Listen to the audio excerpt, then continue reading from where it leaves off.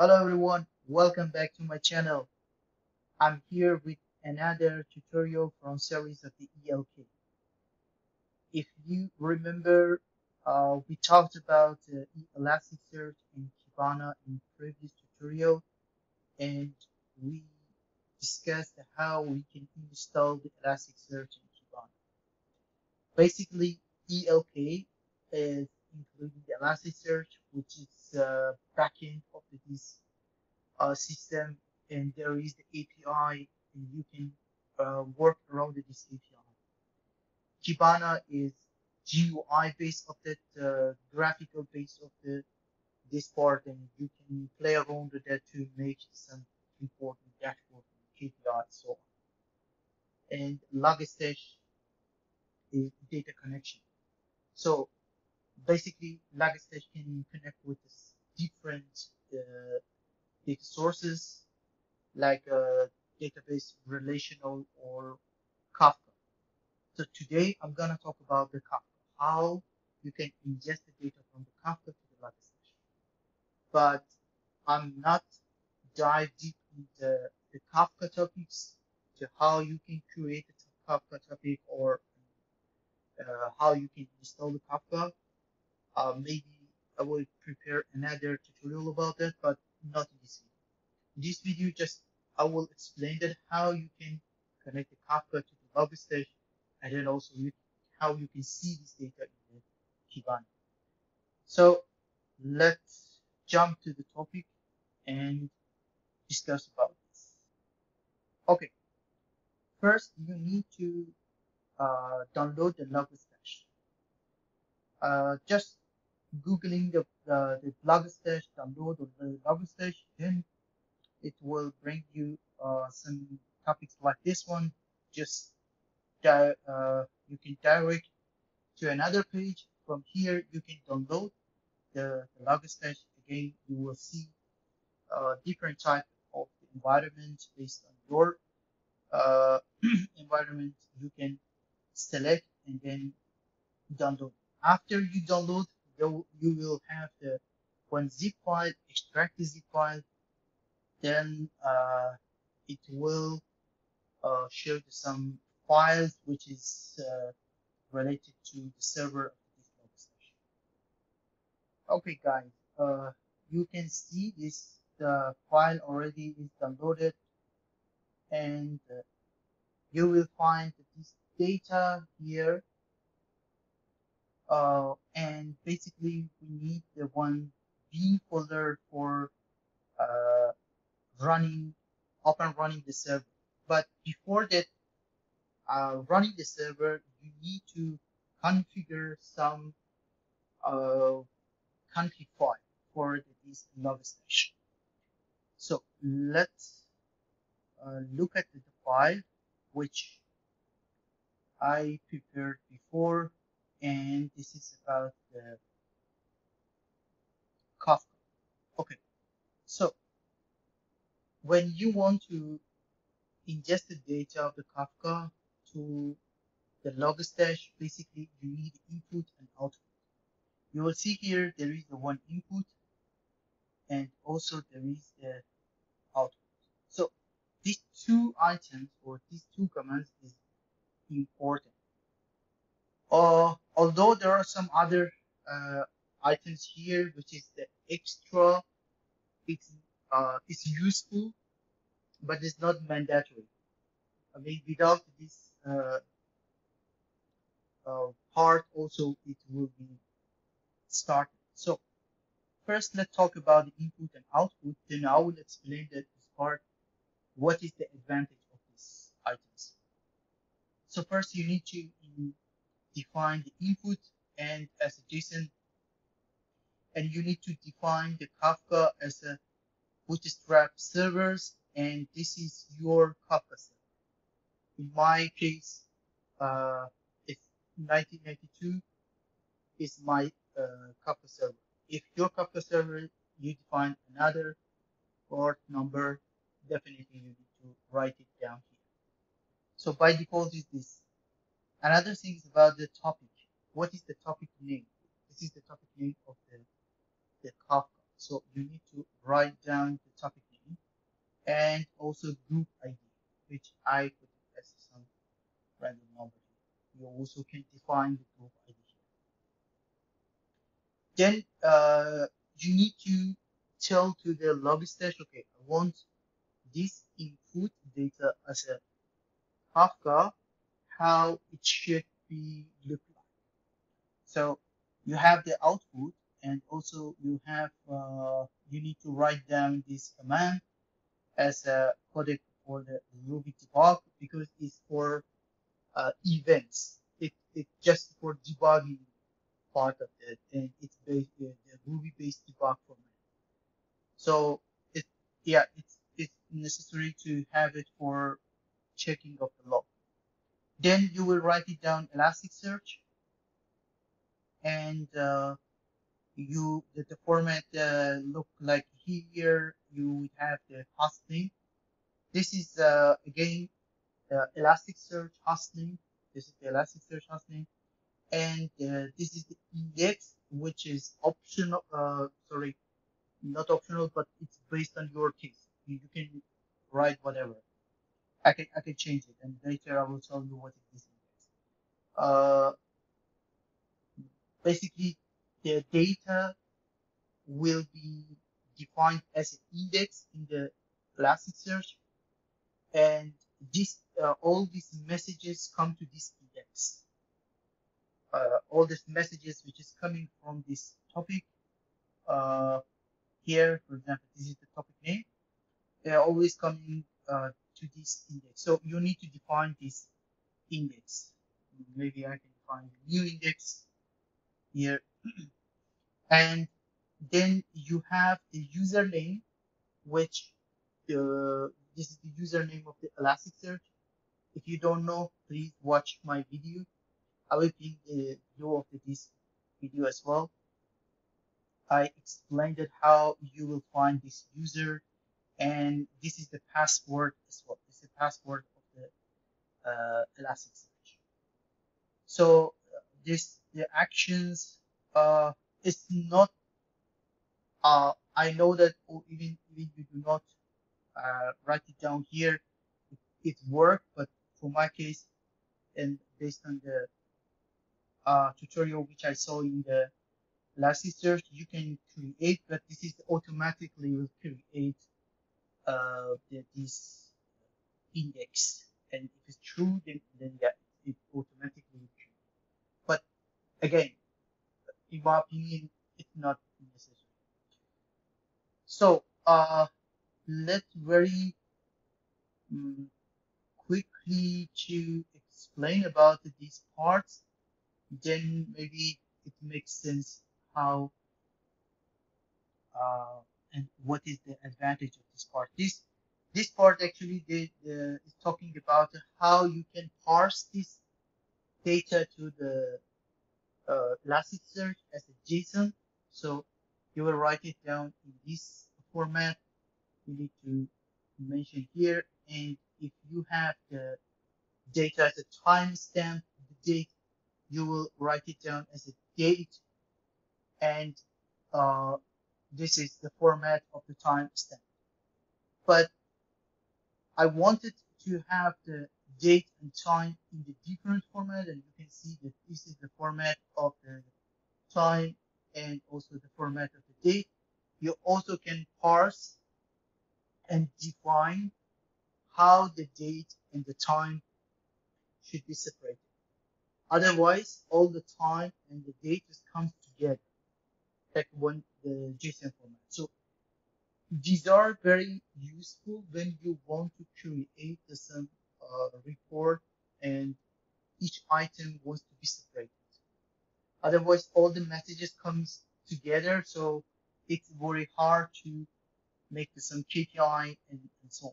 So it, it's useful and has some advantages for making the report. And this is also we'll talk about uh, the the JSON wants to break down into separate fields. So you need to mention it here how the, uh, fields messages split split it. So uh, these are the cases which is optional. As I said, it's not mandatory for running the, the Logstash, but it has some advantages. After you uh, you finish the file, then you need to save this file as a conf.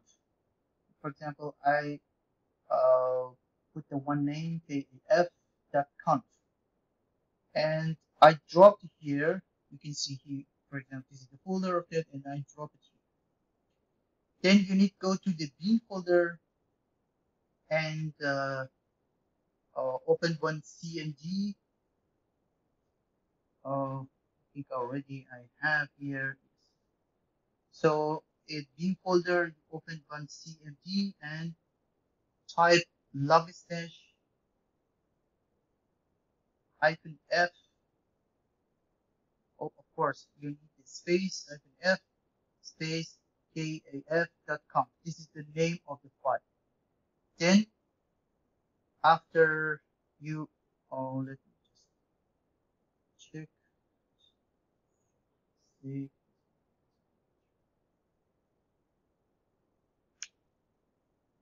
Then you need to wait for up and running the server. And when the Logstash is up and running, then you need to ingest some data from the topics of the Kafka. Then you will see what data will be ingested in the Elasticsearch. One important point is that you have to uh, uh, first you have to run Elasticsearch and Kibana. These two is mandatory. So when uh, let me just mm, just for one example, let me just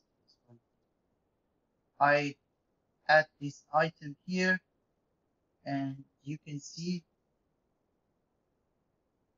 this data is parsed in the log into Logstash. You will see this data is already.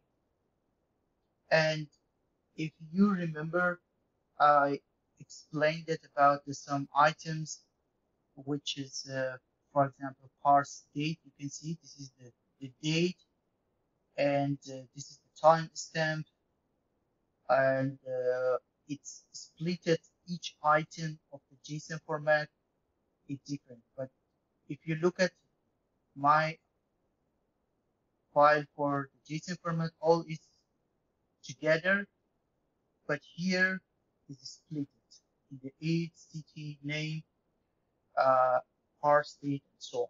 So this is the actual uh, format of the data, and this is split in format of the, upper, uh. After that, you need come to the Kibana part. From here, you need to go to, I think, uh, you need come first to the stack management. And from stack management uh, select index management. And in index management come to create the index. And then you can write down this for exactly the index name which you mentioned in your file after the save then uh, here you have the test for uh, item for the, the index. Then you need to confirm and define the this index and uh, after that all the data from that topic will come to this test. Uh, then we need to create a template for this index. So uh, we have to go to index template and uh, I will select some log and metrics and uh, then create a template you can give the name for whatever uh, just I will Will use this one.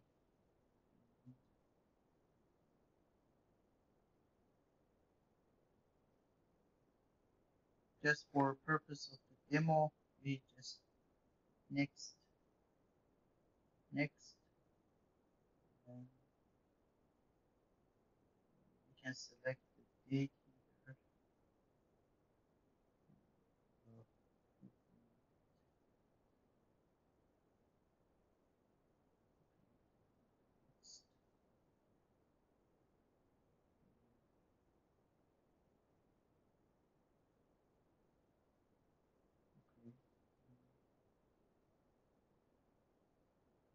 created uh, we need to go to discover from Kibana and then we need to define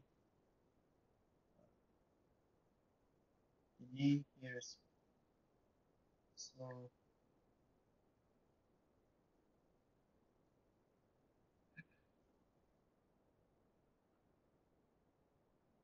to come here to create the data view and the name.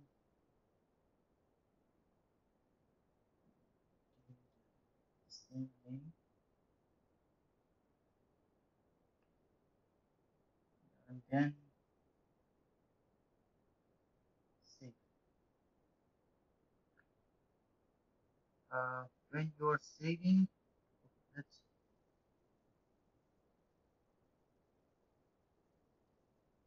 again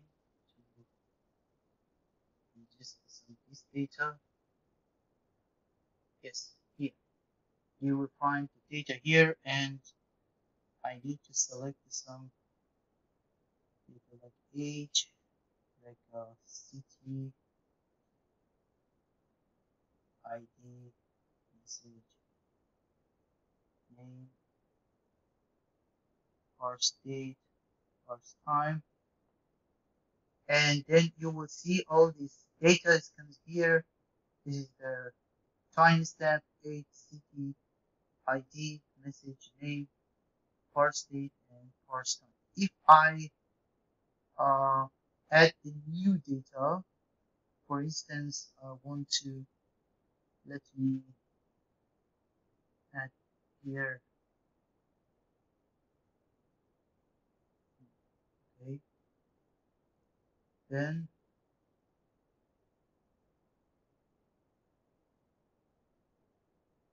city and Y. New York. See? It's all this data which is LA and name